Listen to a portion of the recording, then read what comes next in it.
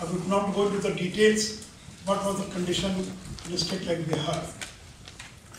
But the first thing, how we converted or we are trying to convert, we can't claim that now Bihar is not a fragile or failed state, or it has become an effective state, but we are on the path of making Bihar from a failed state to an effective state. And I think the first thing which is required is the, is the political stability.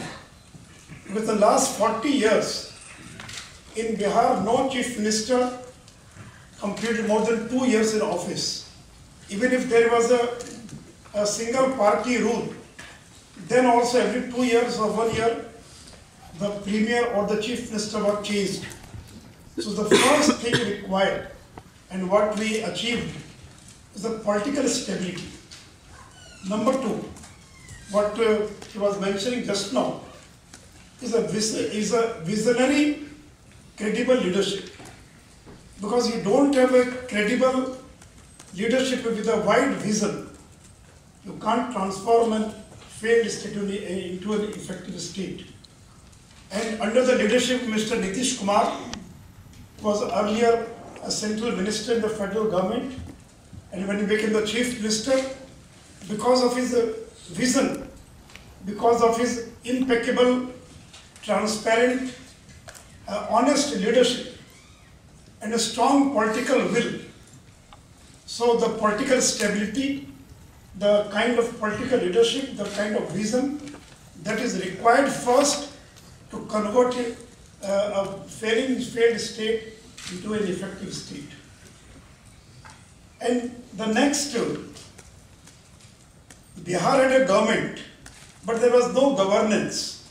So there is a difference between government and governance in all the African and all the poor states or countries. Governments are there, but there is no governance.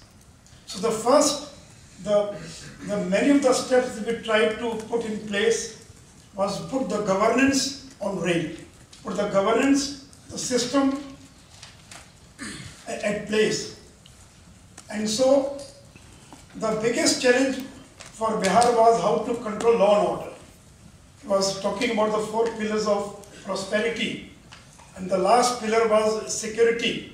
But for a failed state like Bihar, law and order was the biggest challenge because kidnapping had become an industry in Bihar. Because after, after 7 o'clock in the evening, people would not venture out of their houses because of fear of crime, because of fear of law and order situations. So the biggest challenge was how to control this law and order.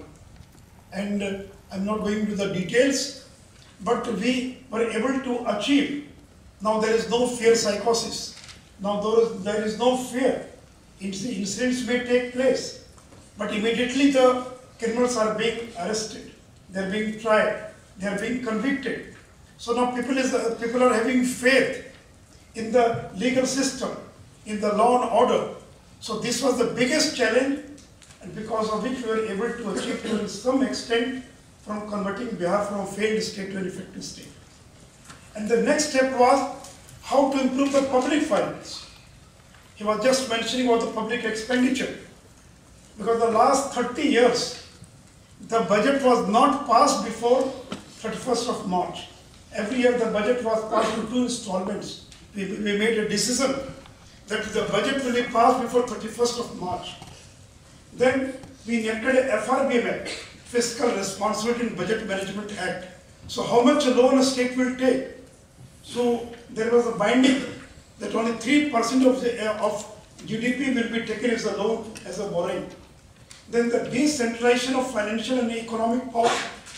Earlier, even if you want to spend one lakh of rupees, you would have to go to the cabinet.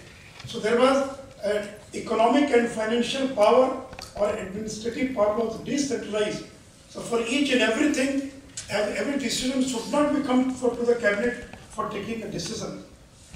Then the plan expenditure.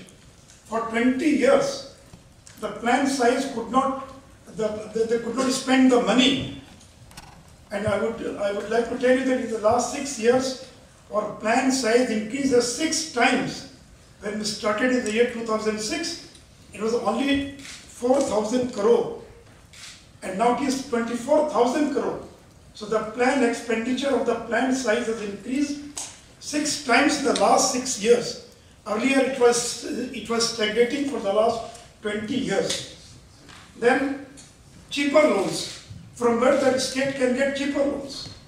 So we went for the World Bank, we went for the Asian Development Bank, for the DFID and other, other loans from where the state can get a cheaper loan. In the same way, how to take more and more money from the central government. Because for taking money from the federal government, you require, uh, you, you, you require a certain amount of money as a state, as a state share. If you want to take uh, one million rupees from the federal government, the first you will have to, you, you should have ten percent or twenty percent of the money, then only you can take the rest of the amount. So the earlier governments, they could not take money from the central government. So in India, that is known as centrally sponsored schemes. So now they, now we are providing money at the state share and taking more and more money from the central government to spend. And the so most important thing was effective monitoring and review. Earlier there was no monitoring. What is happening? There was no review, there was no monitoring.